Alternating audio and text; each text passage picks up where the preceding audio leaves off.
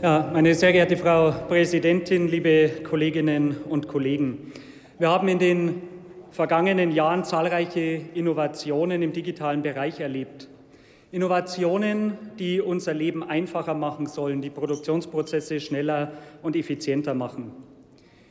Wir erleben, dass sich die Zeitabstände, in denen neue Produkte, digitale Produkte auf den Markt kommen, verkürzen.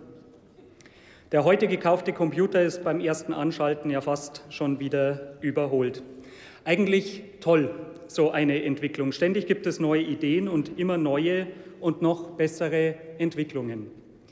Die Digitalisierung, der Einsatz neuer Technik, neuer Verfahren bei Entwicklung und Produktion hat sehr viel Gutes hervorgebracht. Denken wir nur an die Medizintechnik. Was ist in diesem Bereich heute schon alles möglich? Oder auch im Automobilbereich denken wir an die Sicherheitstechnik in den Fahrzeugen, die schon so manches Leben gerettet hat. Innovationen haben in der Vergangenheit und werden in der Zukunft unser Leben und unsere Arbeitswelt weiter verändern. Veränderungen erzeugen häufig Unsicherheiten. Routinierte Abläufe verändern sich. Die Digitalisierung verändert Gesellschaft und Wirtschaft gleichermaßen, das ist unbestritten. Sie revolutioniert klassische Geschäftsmodelle.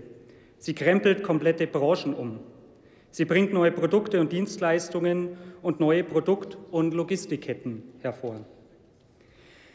Viele Menschen befürchten, durch die Digitalisierung ihren Arbeitsplatz zu verlieren. Und zu einer ehrlich geführten Debatte gehört es zu sagen, ja, es wird Veränderungen geben und ja, manche Tätigkeit wird wohl in Zukunft verstärkt von Maschinen ausgeführt werden. Aber auch in Zukunft wird der Mensch gebraucht, nur anders.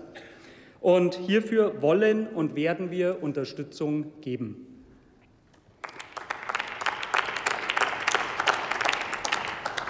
Wir wollen und müssen die Chancen der Digitalisierung nutzen und die Herausforderungen gemeinsam mit Wirtschaft, Wissenschaft, Sozialpartnern und der Politik natürlich angehen, damit Deutschland wettbewerbsfähig bleibt. Es gibt eine ganze Reihe von Fragen, denen wir uns widmen müssen. Wie müssen unsere Berufsbilder in Zukunft aussehen? Wie können neue Arbeitsformen aussehen? Welche Fort- und Weiterbildungsmaßnahmen braucht es, damit es am Ende keine Digitalisierungsverlierer gibt? Wie wird die Arbeitszeit gestaltet? Welche neuen Maßnahmen braucht es bei der Gesundheitsprävention? Daher brauchen wir die Antworten von den Arbeitsforschern. Und die Leitfrage ist, wie sieht die Arbeitswelt von morgen aus und wie können wir uns optimal darauf einstellen? Meine sehr geehrten Damen und Herren, seit 1974 hat der Bund Programme zur Arbeitsforschung auf den Weg gebracht und dabei technologische, wirtschaftliche, organisatorische und soziale Aspekte berücksichtigt und auch deren Beitrag zu Innovationen in den Blick genommen. Das ist auch weiterhin der Fall. Und das wird im Besonderen auch im Haushalt des Bildungs- und Forschungsministeriums deutlich. Ein Rekordhaushalt mit über 16 Milliarden Euro. Darauf wurde von dieser Stelle aus ja bereits mehrfach hingewiesen. Ich möchte es dennoch nochmals ausdrücklich tun, da diese Rekordsumme unterstreicht, wie sehr diese Koalition in die Zukunft unseres Landes investiert, in die Menschen, die hier leben, in den Rohstoff Geist. Vielen Dank auch an unsere Haushälter von dieser Stelle.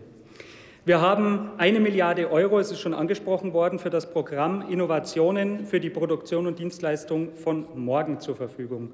Und ich möchte verdeutlichen, dass wir eben beide Seiten fördern. Die Entwicklung von Technik, die Förderung von Innovationen auf der einen Seite, aber auch die Auswirkungen auf den Menschen, auf die Gesellschaft auf der anderen Seite.